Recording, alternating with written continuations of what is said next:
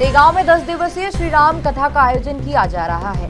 मंगलवार से स्थानीय राम मंदिर में विशाल कलश यात्रा निकालकर श्री राम कथा की शुरुआत की है।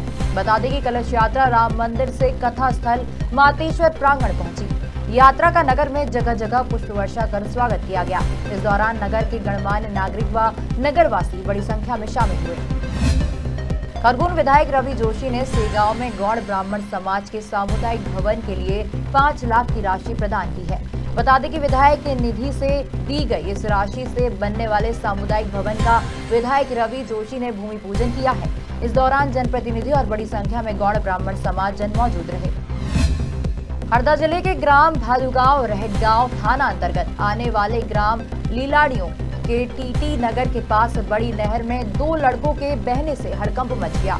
घटना की जानकारी लगते ही मौके पर पहुँची पुलिस प्रशासन की टीम ने युवकों की तलाश शुरू कर दी, लेकिन अब तक कोई सफलता नहीं मिली है।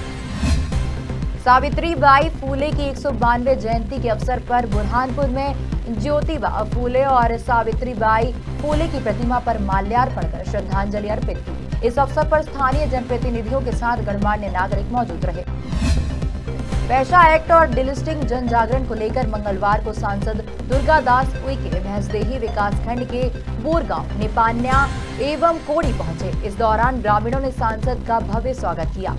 सांसद ने 40 लाख के निर्माण कार्यों की घोषणा की और ढोल की थाप पर जमकर थिरकते नज़र आए ग्वालियर में हुए प्रखर हत्याकांड को लेकर परिजनों ने एसएसपी से मुलाकात की।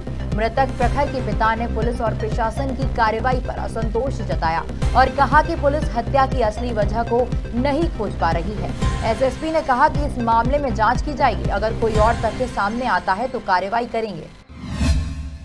झाबुआ ज़िले के संविदा स्वास्थ्य कर्मियों की हड़ताल जारी है। 20 दिन से स्वास्थ्य कर्मचारी अपनी मांगों को लेकर अनिश्चितकालीन हड़ताल कर रहे हैं।